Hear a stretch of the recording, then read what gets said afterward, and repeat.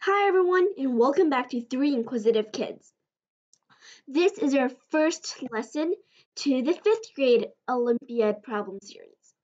So the videos I've made before uh, for the all of those different types of problems like um, you know meter problems, catcher problems, those types are are supposed to be in 4th grade, but the videos will be organized differently now um, starting from fifth grade. So that's just something you can know. And some topics are going to be reintroduced and relearned in this series, but at a much higher level.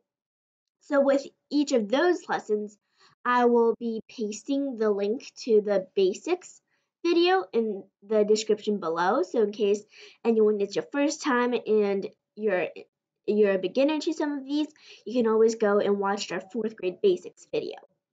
So this is our first lesson on tricks to calculating fractions.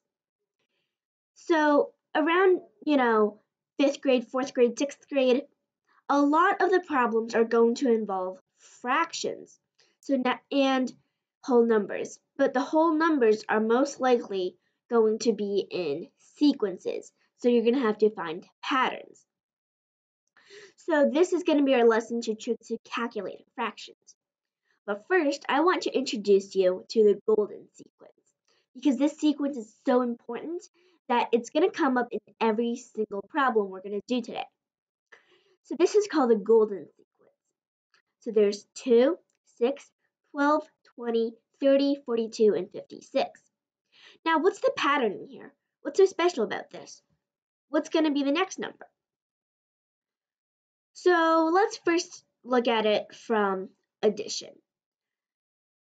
We know that it has to do something with increasing because the numbers are getting bigger and bigger. Let's try addition. 2 plus 4 equals 6. 6 plus 6 equals 12. 12 plus 8 equals 20. Let's do one more. 20 plus 10 equals 30. Now this is a very interesting pattern we just covered because the, even though this sequence itself isn't doesn't have a specific difference to each of these terms, these numbers, but their differences have a pattern, right? If it's first apart by 4, then apart by 6, 8, and 10. And this one would be 12. And that makes sense because 30 plus 12 equals 42. 42 plus 14 equals 56, which means that this number is going to be 56 plus, so this one is plus 12, this one is plus 14, this one has to be 56 plus 16. 56 plus 16, you know it, it's 72. So that means that the next number is 72. So this is our golden sequence. So that's it from the addition point of view. But what other operation do we know that involves increasing numbers? You're right, multiplication. So this multiplication is going to get a little more complicated, but don't worry, you're going to get used to this. 2. Hmm. What times 2 equals 2. 1 times 2. 6. What times what equals 6?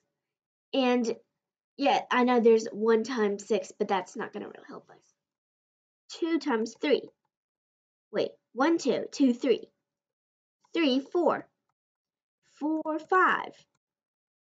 5, 6. Do you see the pattern now?